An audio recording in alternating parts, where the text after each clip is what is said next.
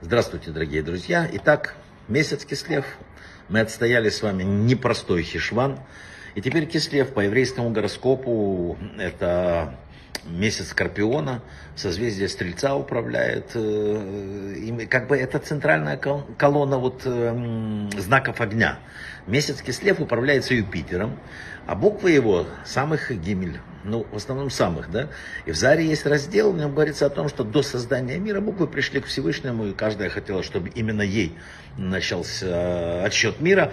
И Бог сказал букве самых, когда она к нему пришла, вернись на свое место. То есть после буквы «нун», чтобы поддержать ее и не дать упасть. Итак, что получилось? Слово «нун», «нес» – чудо. Буквой «нун» создан знак Скорпиона, во время которого произошел э, всемирный потоп. А затем Всевышний обещал, что не будет никогда больше потопа. И что произошло дальше? Произошла радуга. Радуга это что? Кэшет, да? Стрелец, согласно э, на, на иврите кэшет. Радуга на небе это знак договора между Богом и людьми, что потоп никогда не уничтожит больше землю. То есть крайне положительно. Что еще? Самыми важными днями Кислева, безусловно, является праздник Ханука. Он начинается 25-го день Кислева и заканчивается во второй день месяца Тевет. Э, в это время зажигают ханукальные свечи, чтобы соединиться с тем чудом, которое было во времена Хасманаев. Нам это сейчас особенно важно, наверное, поэтому этому надо уделить особое значение. Э, в Иерусалимском храме, вот это, кто помнит, была однодневная порция масла, горела в течение восьми дней.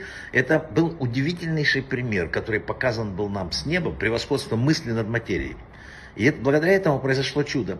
И вот э, такие условия, и, конечно же, вмешательство Всевышнего принесло это чудо, которое случилось две тысячи лет назад. Но написано в Кабале, что каждый год, вот 24 числа месяца Кислев, возвращается та же самая энергия в мир. И согласно еврейскому гороскопу, э, гороскопу эта энергия снова выделяется на протяжении всех восьми дней.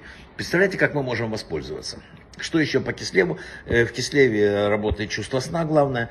И несмотря на то, что мы спим почти треть нашей жизни, сон остается для нас загадкой.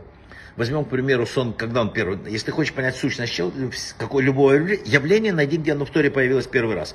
Первый раз сон что? Это Всевышний навел на Адама сон, чтобы взял у него одну из частей тела, чтобы создал из него свою, его жену.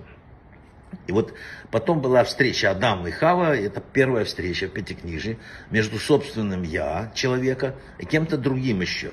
То есть здесь намного глубже. Мы всегда должны понимать, что там все намного глубже, чем мы думаем. И мы видим именно в месяце Кислев, вот это чувство сна, оно сильно выражено.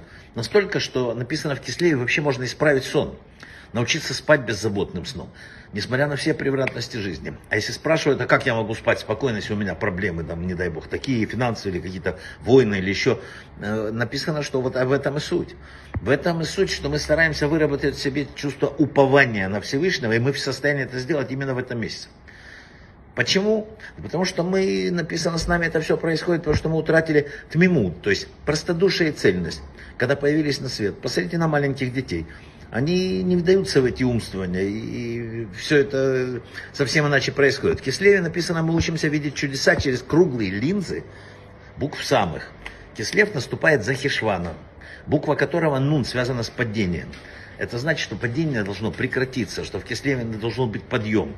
И мудрецы сказали, что самых поддерживает нун, и это будет чудо. Кислеве вообще э, выясняется, что нам есть на кого положиться. И очень главное, что выработать правильный взгляд на все, что с нами происходит.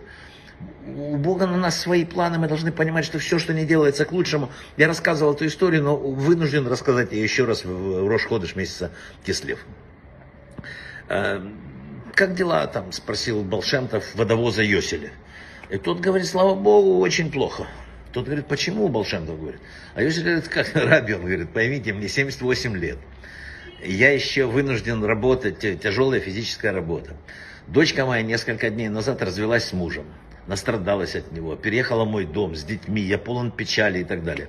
Беж говорит, благословляю тебя, чтобы у тебя все было хорошо. И хасиды начали думать, а что, как, как ему станет хорошо, что через неделю они едут опять в Йоселе. Спрашивает Йосели, как дела? Йосели говорит, у меня великолепно все. Я счастлив, рад, благодарю Бога за все хорошее. Посмотрите на меня. Мне 78 лет, да?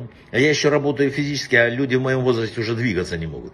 Моя работа очень важна, я водой обеспечиваю людей. А недавно моя дочь, которая страдала там супруж, наконец развелась со своим мужем, и теперь с детьми, мне так приятно в доме, мы находимся в компании наших внуков. И тогда хасиды поняли значение слова благословение. На самом деле ничего ведь не произошло в этой жизни водовоза, за исключением одной великой и очень важной вещи. Он начал иначе смотреть на мир. Это сделало его жизнь другой. Вот нам в этом месте надо посмотреть на мир совсем иначе. Все, что вокруг нас чудо, и мы должны это рассмотреть. Thank you